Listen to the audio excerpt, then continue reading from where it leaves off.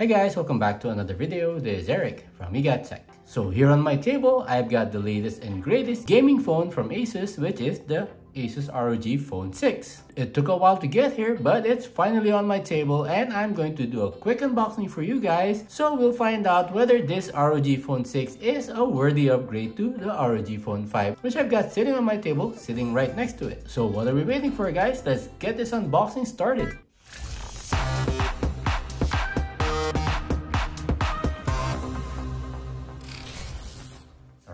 So, so you've got the Republic of Gamers logo on the front, ROG Phone 6 at the bottom, and as you can tell from the logo at the bottom right here, it is the Tencent Games Edition. And as I've made known to you guys, I tend to prefer the Tencent Games version or the Tencent Games Edition because the Chinese version tends to get a lot more updates and they tend to get those updates more frequently. At the right side, more ROG Phone 6 label, ROG on the left side, Republic of Gamers at the top. And at the back, you've got, so this is the 12 gig of LPDDR5 RAM and 256 GB of storage, which I've mentioned a lot of times on the channel is the sweet spot for gaming phones right now. Anything more than 12, in my opinion, is just for bragging rights. And to be honest, guys, there really isn't any game out now that will take advantage of the full 12 GB of RAM that you can get on any of these gaming phones. So, let's go ahead and unbox this. So I've already removed the plastic. Let me just slide it down.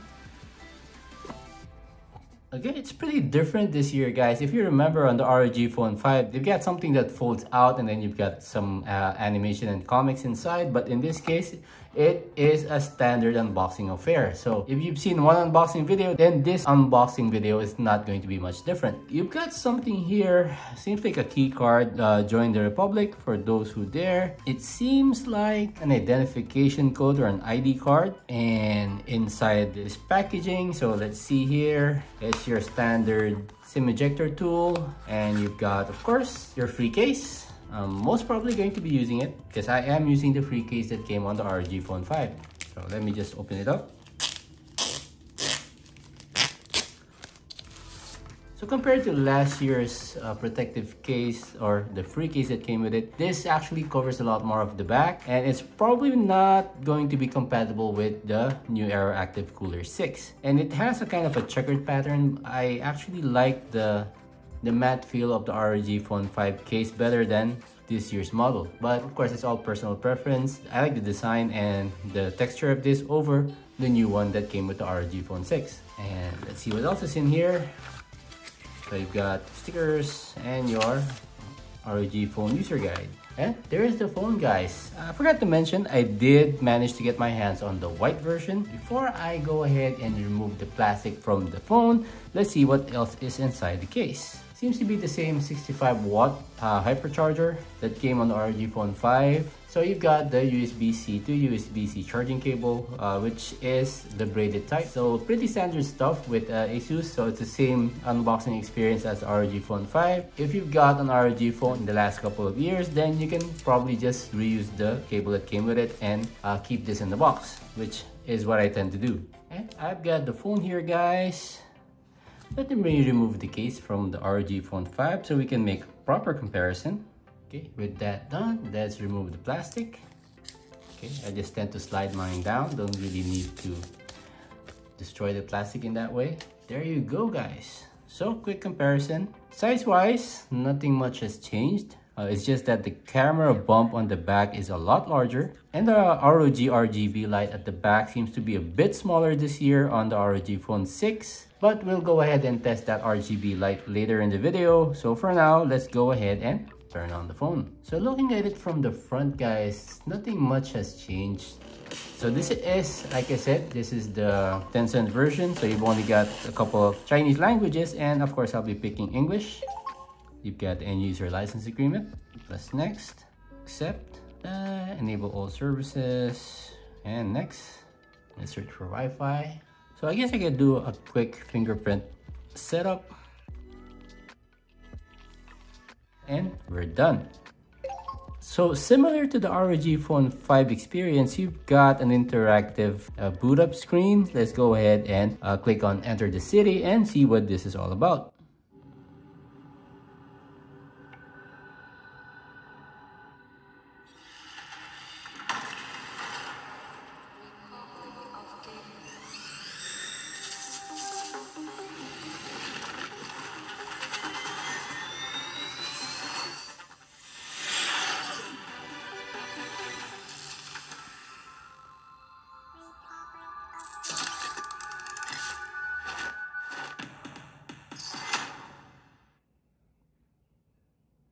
So this is uh, what I wanted to find out guys.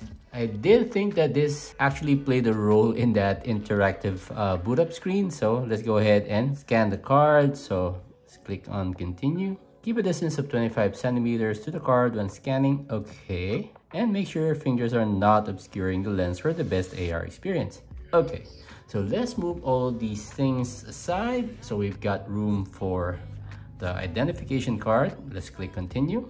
Welcome to the Armoury Crate AR. This app uses augmented reality technology to provide a special unboxing experience.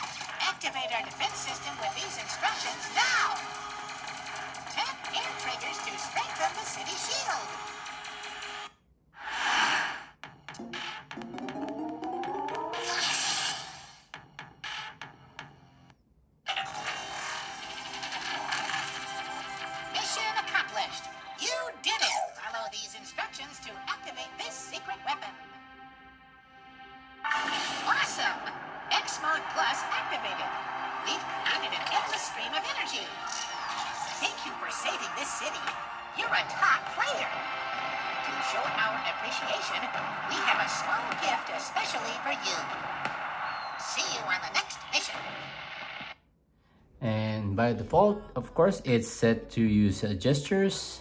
But what I usually do is, I just skip that. I already know how to use gesture mode. You can skip. And I'll go ahead and set up. So let me change the system navigation to what I'm used to, which is a navigation bar. And I actually prefer it in this way. And there you go. So now we know what this one is and you're probably not gonna have any use for it after that initial setup. So you can just set it aside, put it back in the box, probably forget about it. So before I go ahead and do any kind of testing on the phone, let me go through some quick specs on the phone so we'll know the basic difference between the ROG Phone 5 and the ROG Phone 6. So this year, the ROG Phone 6, they actually skipped the Snapdragon 8 Gen 1 and went straight to the Snapdragon 8 Plus Gen 1, which they are claiming that is 15% faster in terms of the CPU performance, 50% faster GPU performance, a 20% improved CPU power efficiency, and you can actually get the ROG Phone 6 in several variants. You can get up to 18 GB of LPDDR5 RAM and 512 GB of UFS 3.1 storage. If you're going to go for the higher RAM and storage versions, you're going to be paying a premium for those. So I went with the 12 GB of LPDDR5 RAM and 256 GB of storage which as I mentioned earlier in the video is the sweet spot for any gaming phone right now. And what they're claiming this year is since that uh, CPU power efficiency is 20% improved, the new cooling system that they've got in place, which they're calling GameCool 6, it is designed to deal with the heat that's generated by the Snapdragon 8 Plus Gen 1 chip. It has a 30% larger vapor chamber, an 85% larger graphite sheet, and it has a centered CPU design. So what does that mean in terms of cooling? So if you're going to be using a gaming cooler like the Black Shark Fun 2 Pro or maybe the Red Magic Turbo Cooler, since most of the time you're going to be putting the cooler at the center of the phone, they made a change on the design that they put the CPU at the center of the phone so it gets the maximum benefit by using any of those coolers. And with the change that they made this year to the cooling system, they are claiming that they've used aerospace grade thermal compound, which has more than 20% improved heat conductivity. So that means that it's going to take heat away from from the hot CPU a lot more effectively and is going to keep the temperature of this phone down. So really interested in seeing that in action because one of my main complaints with the ROG Phone 5 is that this tends to run pretty hot and because it's running hot, it's dialing its performance down in order to make sure that you don't damage any of the internals of the phone. Because of that improvement in the cooling system, they did come up with a new and improved Aeroactive Cooler 6. Now it's no secret that I've always been claiming on the channel that the Aeroactive coolers being released by ASUS for its ROG phone lineup is overpriced and it doesn't really cool very well. And ASUS actually finally did something about it. So the Aeroactive Cooler 6 is finally a thermoelectric cooler. So that means ASUS has in some way admitted that their Aeroactive coolers with their fan blowing design is not enough to cool their ROG gaming phones. And once that Aeroactive Cooler 6 has come in, I'm definitely going to be putting this phone through its paces. So make sure that you've subscribed to the channel and you've turned the notifications on so you'll be the first to know once that video is up.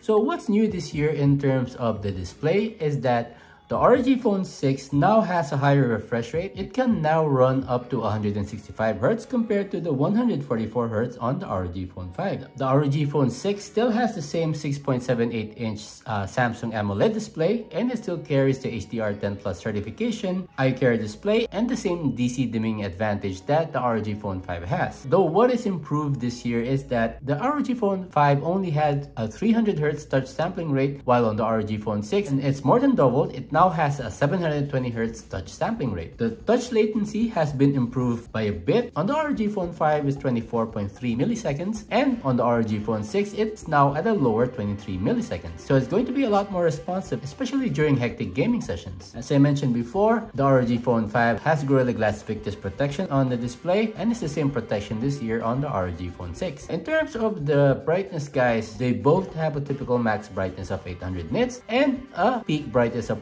1200 nits in direct sunlight.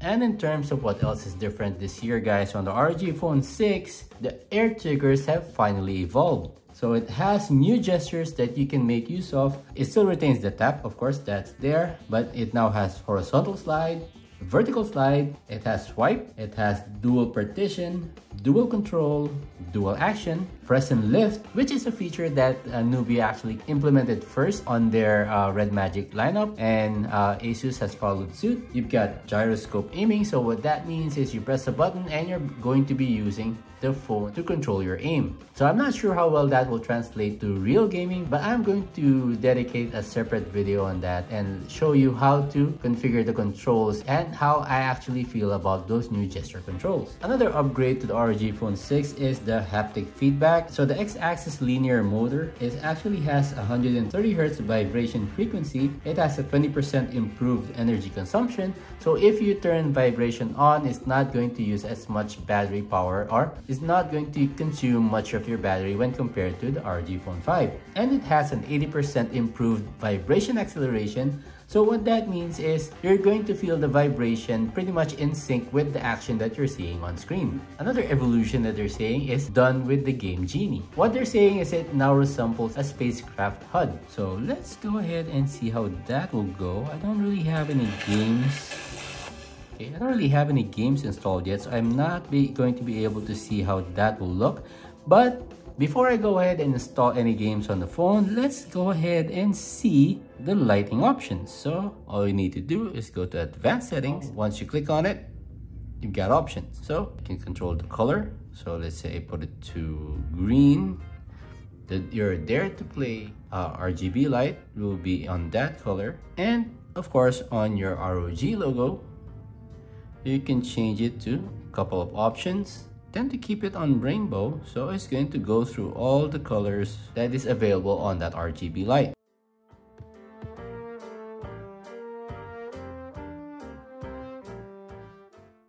So in terms of the battery this year, it still retains that dual 3000 mAh battery, still has the same 65 watt hypercharger, but instead of 52 minutes now, they've cut down the charging time to 42 minutes when going from 0 to 100. But of course, I'm going to be testing that charging speed on my usual battery drain test as well as my battery charging test.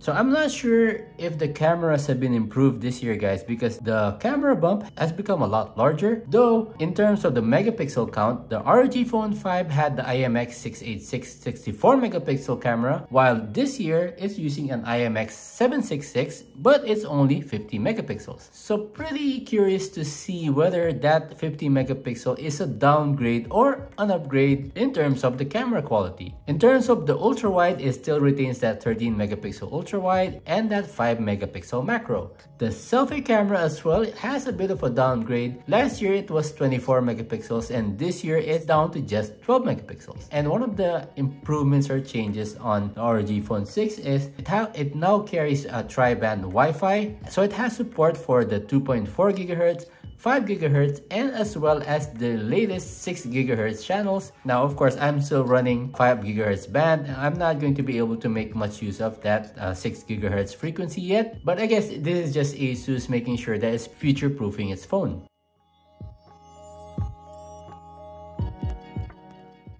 The ROG Phone 5 has one of the best sounding speakers on a mobile phone that I've tested. So let's see if the ROG Phone 6 can match or even beat the sounds that you're getting from the ROG Phone 5.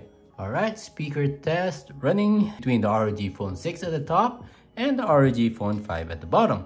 So let's make sure that the volume is max on both phones. Let's start with the ROG Phone 6 first.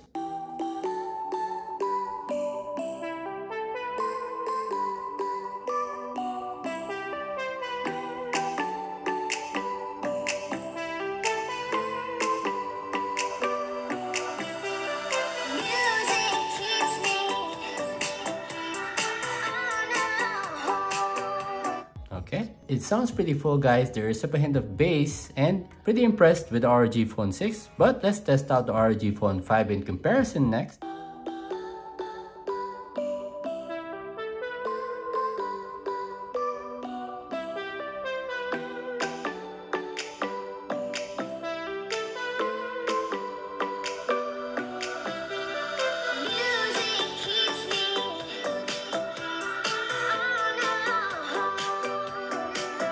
ROG Phone 5 sounds a bit louder. Let's try again.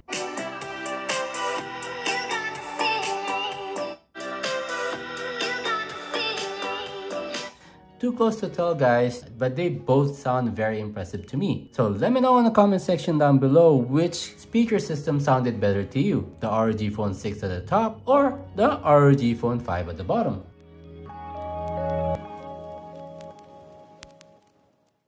Of course, I'm going to be doing my own benchmark test and gaming test on this ROG Phone 6 and I'm pretty sure that you guys are interested in finding out whether the ROG Phone 6 is worth upgrading to especially if you've already got an ROG Phone 5. Now, I have a lot of complaints about the ROG Phone 5 in terms of the temperature and performance and I am hoping that ASUS actually addressed all the problems that they've had on the ROG Phone 5. So with that said, I guess I'll go ahead and end this quick unboxing and comparison video between the ROG Phone 5 and the ROG Phone 6, I'm going to go ahead and start with the benchmark test and the performance and throttling test. So make sure that you're subscribed to the channel and click on the notification bell so you'll be the first to know when that video is up. So with that said, I would highly appreciate a sub on the channel. So please like and subscribe, hit that bell icon notification, and see you all on my next one.